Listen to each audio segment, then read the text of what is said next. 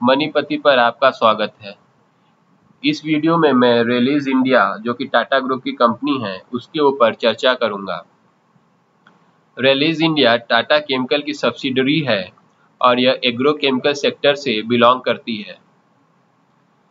इनका प्रमुख व्यवसाय है घरेलू क्रॉप प्रोटेक्शन जिसमें पेस्टिसाइड्स हैं सीड ट्रीटमेंट केमिकल हैं और हाउस होल्ड प्रोडक्ट्स मतलब कीटनाशक प्रोडक्ट हैं।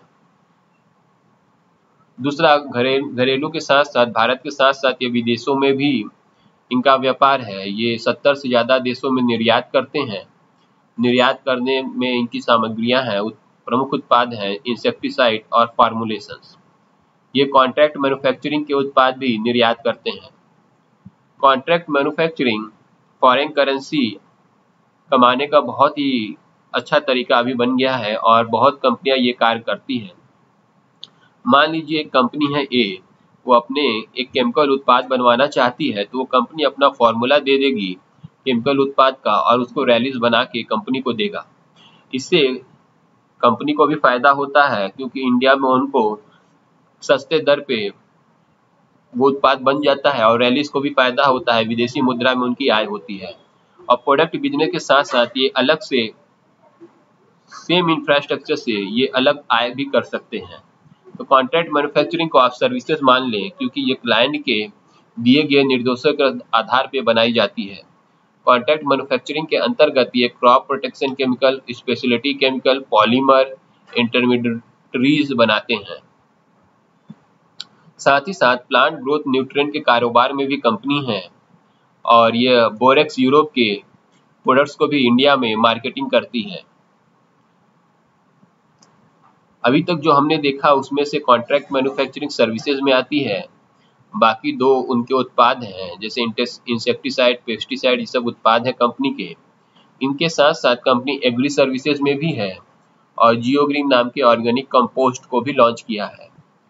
ऑर्गेनिक फ़ूड आजकल काफ़ी ट्रेंड में है, क्योंकि उनसे वो इन्वायरमेंट फ्रेंडली होते हैं और शरीर के लिए भी फ़ायदेमंद होता है।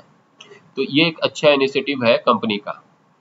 दूसरा, किसानों की मदद के लिए कंपनी ने अंगूर, चिली और पोमेग्रेनेट यानी अनार, इनका इल्ड बनाने के लिए, इनका उत्पाद बढ़ाने के लिए समृद्धि कृषि को लॉन्च किया है। समृद्धि कृषि योजना के तहत किसानों को काफ़ी फ़ायदा होता है, इन फलों का उत्पाद बढ़ा के, और साथ ही साथ कंपनी को भी फ़ायदा होता है। भविष्य में अगर कंपनी और उत्पादों में समृद्धि कृषि को लाती है तो ये बहुत ही अच्छा होगा कंपनी के लिए भी। जो सबसे अहम बात मुझे इस कंपनी की अच्छी लगती है वह यह है कि 1500 डीलर और 40,000 रिटेलर के ज़रिए ये पूरे भारतवर्ष में फैली हुई है।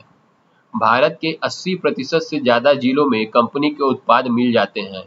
ये बहुत ही अच्छी बात है और इनका एक डेफिनेट एडवांटेज है दूसरे कंपनियों के खिलाफ। मतलब इतना बड़ा डिस्ट्रीब्यूशन नेटवर्क दूसरे कंपनियों में बहुत कम ही देखा जाता है। तो रैलीज के लिए ये बहुत ही अच्छी बात है। यहाँ पे रैलीज इंडिया के रूप में आप एक एग्रोकेमिकल की लीडिंग कंपनी देख रहे हैं।